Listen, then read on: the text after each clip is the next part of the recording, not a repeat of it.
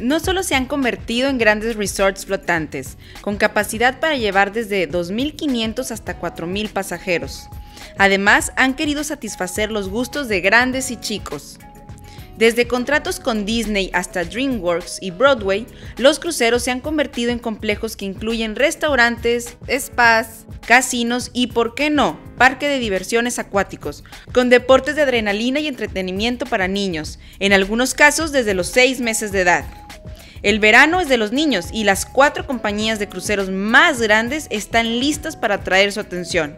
Ellas son Royal Caribbean, Disney Cruise Lines, Carnival, y Norwegian Cruise Lines. Es hora de reservar. ¡Leven anclas!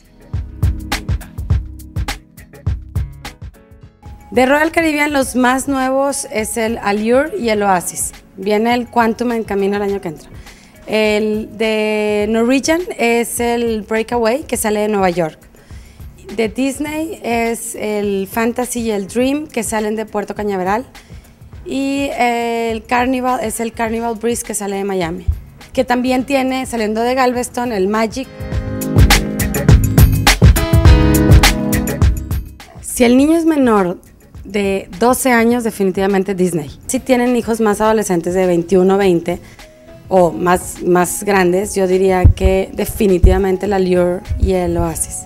Y el Breakaway es un barco nuevo donde tienes muchas opciones. Es de la línea Norwegian y sale de Nueva York.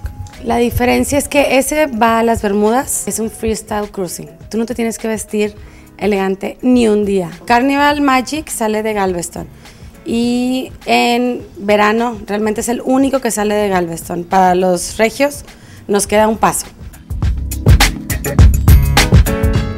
El Kids Club está abierto hasta la, hasta la edad de, digo, está abierto para todas edades, eh, hasta los 17 años. De los 6 meses a 3 años tiene que estar una enfermera o un papá presente. O te cobran 6 dólares la hora. De 3 a 5 años, ahí ya los puedes dejar sin ningún costo y con toda la diversión. Ahí te dan de desayunar, comer y cenar. Para adultos, jóvenes y niños es mágico todo.